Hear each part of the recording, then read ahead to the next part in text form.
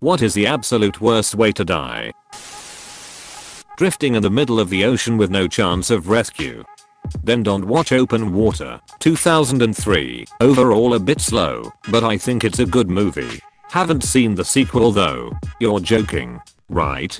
Open Water might be the worst movie I've ever seen.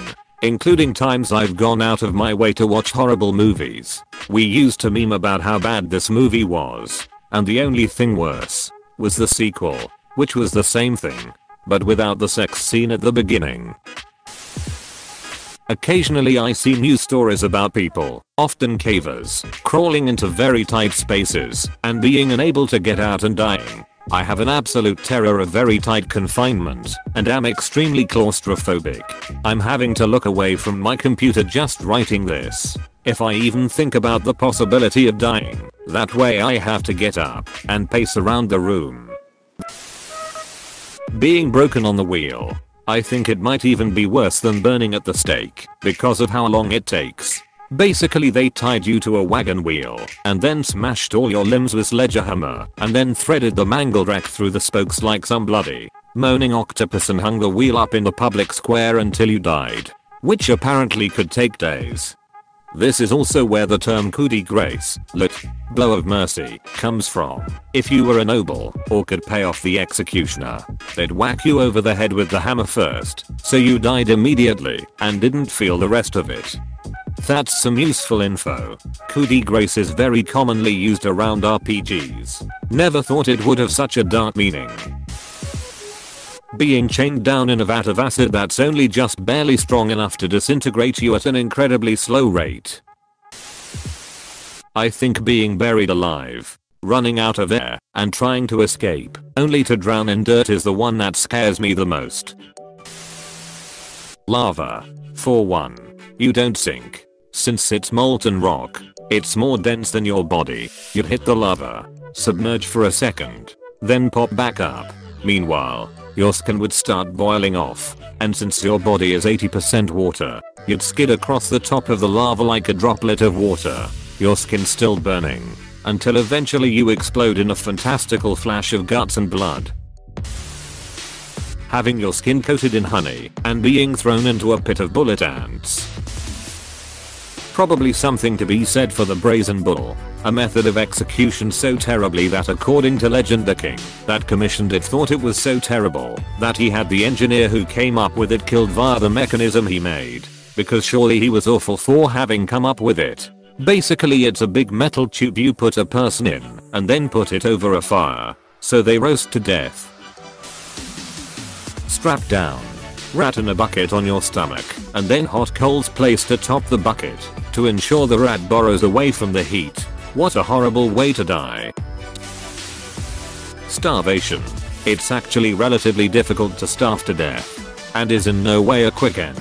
When faced with starvation, the body will burn through its fat stores for energy. Once that runs out, it will go for the muscle but, eventually, it's going to run out of options. The extreme lack of vitamins and minerals will likely lead to a severely weakened immune system. It might be this, as opposed to exclusively starvation, that eventually finishes you off as you would have little defense against all kinds of diseases. Drowned in gravy. I would love that. Username checks out. Read about John Jones in Nutty Putty Cave. Horrible way to go out. Duck you. I just forgot him. Now I have to think about his horrible death again. Being impaled slowly on a hot metal poker. Starting up the rectum. My dad knew a guy whose sister was sold some ducked up drugs and died from a nod. He tracked the dealer down and raped them to death with a baseball bat akin to Lucille TWD. Has doing life in prison. Oh.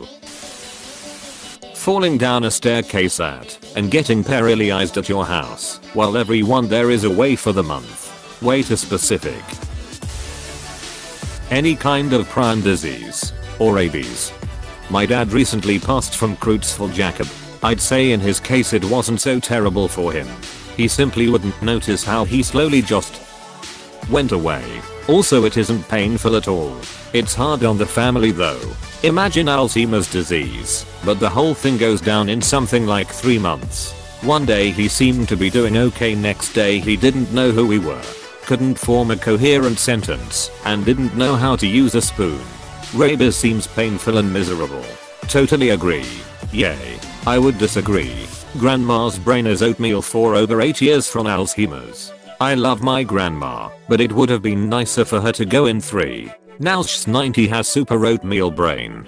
Can't talk and has COVID. Trapped in a sinking boat at night. That is terrible. Being flayed sounds pretty dismal. They cut your skin away from the circumference of the hips, peel it up over your torso, and then tie the skin off over your head. So you end up suffocating in a bag of your own skin. But while you hang there suffocating they throw salt and acid at the now exposed raw flesh of your body the entire time. Being stabbed repeatedly by a butter knife. Pool drain. Bruh. Painfulness wise. Getting burned alive. Now, being burned just enough that you die a week or two later. All the while being in 11 tenths pain. I would jump out a window. I say this because people actually try to when burned bad enough. Suffocating under a drunk and unconscious Ian McShane. Things in my top 10. Chopped up by woodchipper feet first. Killed by crocodile slash alligator.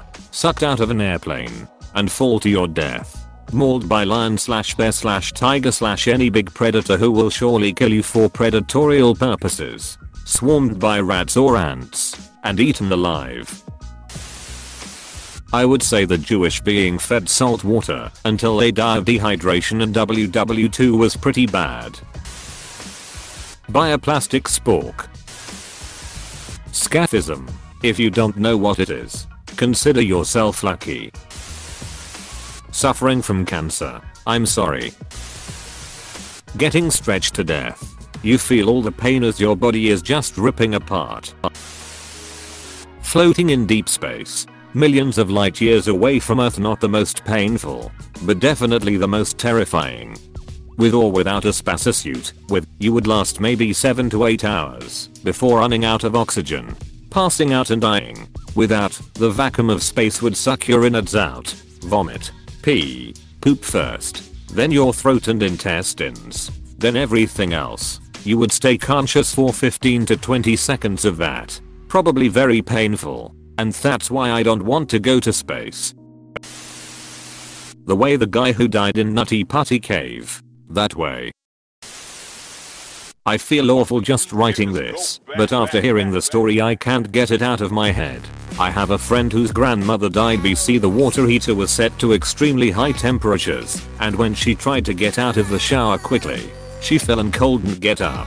Her body clogged the drain and she went into shock laying in scalding hot water. When they pulled her out her flesh was coming off of her legs. One of the worst parts is, her son, my friend's dad, had just dropped her off and went back into her house BC he forgot his wallet. He heard she was in the shower, so he just slipped back out of the house to not startle her. Her family ended up suing the landlord or the company. Can't remember tbh but they ended up receiving hundreds of thousands of dollars BC they came to the conclusion that no one's water heater should ever be set that high for any reason. I've this recurring fear since I was little. Imagine a long tube that's slightly inclined and closed on one end. It's just wide enough for you to fit. You are put here first into the tube. Your head is slightly below your feet. You cannot move. And it's completely pitch black. The tube is slowly filling up with water. I think the fact that you drown in the end is actually a plus, or you'd just be stuck there until you die of malnutrition, dehydration, or whatever. Drowning is definitely making it worse in my mind. There are lots of particularly nasty diseases out there, but one of the worst I have seen is ALS, Lou Gehrig's disease. You are completely lucid, completely cognitively intact, but you slowly lose control of all of your muscles. You lose the ability to move your mouth for speech or swallowing. You cannot swallow your saliva. It either falls out of your mouth or down your throat. The only part of your body that you can control is your eyes. If you're lucky. Someone will bring you a large alphabet board and you can look at each letter and spell out words. Some people are lucky and get a fancy eye gaze communication board, but they are somewhat difficult to program and have a learning curve. Your helper has to know how to set it up so that your eyes can be tracked. Eventually, you die because you lose the ability to make your diaphragm work. So you just cannot breathe. But you are conscious the whole time. Any slow and painful death, like being slowly eaten alive must be terrible. Unremembered. That's what the damnatio memoriae is for. Latin for condemnation of memory. The Romans were cold as duck. I read somewhere that, if you fall into an ice crevice, your body heat slowly melts the ice. You keep slowly slipping deeper in, until you can't move, and either freeze to death or suffocate. Pretty much any form of suffocating where you know you're about to die for anywhere from minutes to hours, and there's nothing you can do about it. I remember reading of a Roman emperor who would tie two naked people together one sitting on the other's lap, arms and legs entwined. One would then be killed. The other unlucky bastard would then be rotted upon, stenched upon, and crawled upon by all manner of insects and other consumers of putrefying flesh. I don't know if it's the absolute worst, but I was surprised at how uncomfortable I became watching Kill Bill, where the bride was buried alive in a plywood coffin. I got sweaty and nauseous. Can't watch that scene ever again. The thought of being physically confined like that. Hopeless for rescue. Waiting for asphyxiation. I suppose. Or maybe dehydration would get you if you lasted long enough. I can only imagine where my mind would wander off to after coming to terms with the fact that this was the end for me. Getting your balls slowly crushed and then each one of your bones. Much less effective for the females I'd guess. Blowing up by eating cake Jumanji style. Slowly, painfully, and expensively. Wait what was that last one? Getting stuck upside down in a tight hole in a cave that makes it impossible to move your limbs or a movie without breaking bones and suffocate as your organs crush your lungs and blood rushes to your head. If you don't commit suicide by suffocating yourself you can last 20 plus hours in that hole till death. The autocorrect on the till. Mayo. With intestinal problems. People on here are talking about legit ways to die, and I'm over here with stroke by masturbating, burned alive, or drowned. IDK. I drowned when I was younger and was brought back. Let me say it wasn't that bad. I'm much more terrified of fire. What was it like? Choking on cake on your cake day. Reddit moment. Very slowly due to poisons, no healthcare, and malnutrition due to being economically poor. Peeling you alive. S-L-O-W-L-Y. You are lying in your deathbed, surrounded by the ghosts of all the people you could have been, and all the dreams you didn't bring into reality. Their eyes burning into you with furious anger as they shout I were meant to bring us to life. You were meant to make us real. But you ignored us. You closed your eyes and your ears, and you slept through your greatness. Your purpose was always there, and you squandered it, or thousand thousand lifetimes, to bring you into being. To give us the chance to be born. But now, now you die. And we, we die with you. Chilling words from, ironically, a motivational speech. In my opinion, the worst way to die would be from depression. Depression is the most preferable method in this whole thread. God damn I'm learning a lot today. Running out of oxygen. Alone. Definitely alone. It's scary doing things by yourself anyway, let alone dying. It's one of my worst fears. Married to a woman who is angry you didn't get grass cut before your cancer got too far along. Too weak to get away. You spend your last in agony wondering what might have been if that stripper from Wisconsin hadn't quit due to cover just days before you got the nerve to ask her to run off to Keys with you. Radiation poisoning. It's a slow process that could take weeks to kill you. Start off by losing your skin. Then one by one your organs fail. Then you just bleed to death. I'd rather a shotgun to the skull. To be honest. Boiled in water. Try oil for crispier skin. Slow burning covered with honey surrounded by hees. Spaghettification by getting too close to a black hole. By the breath of this one kid I met. The medieval torture, where they would hang you upside down with rope on each leg. So you are in an upside down split and they would saw from your crotch down slowly, and since you were upside down the blood would stay in your head, so you would stay conscious for most of it. You get an upvote cause I see blue cheese. Finally someone notices thank you you you you you. EWW that ain't blue cheese that's blue pie. Blue pie is disgusting. Get out of here opus. Getting tied outside covered in honey while also ingesting it so bugs slowly eat you out from the inside.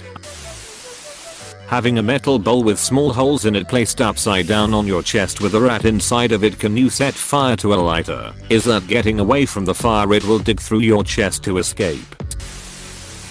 Capsizing at sea. Happens every year here. A very little few manage to swim ashore maybe one out of every 10, but most are never seen again. The tides and waves are very strong here. Recently there's been quite a few great white sharks in the water surrounding our island as well. The stories those few that make it back to shore tell are the stuff of nightmares. Bows tossed by cold waves so high you could be close to shore and never see it or anyone see you. Bamboo torture strapped down over some bamboo and it grows through your body bamboo grows fast enough, relatively, and is sturdy enough that you could only lie there as it gradually skewered your body. Something around 4 feet a day, if anyone was curious being immortal beyond the fall of humanity left to roam the empty earth for eons before the sun expands and engulfs you, and there's nothing but white light, and then emptiness for so long you forget what human language emotions and experiences were even like. Have your head squished like a watermelon by a very strong dude seconds after you thought you had him at your mercy and you almost got him to confess that he raped your sister. Getting molten metal poured down your throat would make a cool sculpture though. Kind of like what they do with fire and hills. Hey, thanks for watching, and don't forget to subscribe.